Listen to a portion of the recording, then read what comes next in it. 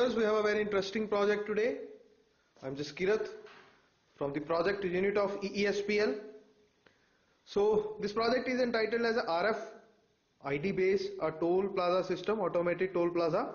As you can see, now circuitry part, we have a RF receiver here, a buzzer to give an alert, a gear motor that depicts the opening and closing of the barrier, and a LCD to display the activities, and a control section okay so what this project does is it has a receiver RF receiver with a particular unique ID of the transmitter.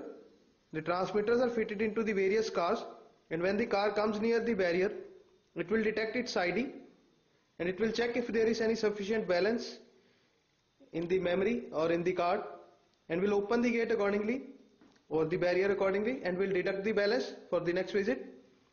So as you can see my friend will be assisting me is having a receiver into his pocket. You can see the LED as he will be coming near you will see that the project will detect that uh, somebody has come near or the car has been passed and it will accordingly open the barrier if there will be sufficient balance. So let us try and see. Is coming near.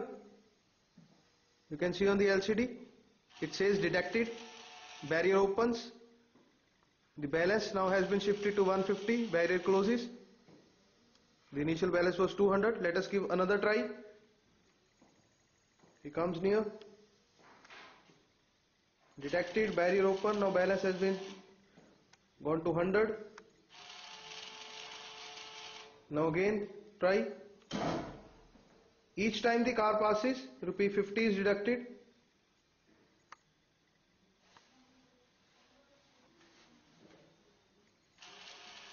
As you can see the barrier opens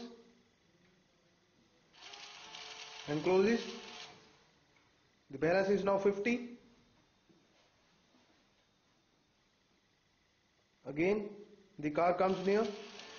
Now the balance has been shifted to 0 now this time if the car comes it will not allow it to pass as the balance has been shifted to 0 so it will give us an alert that saying that the balance is low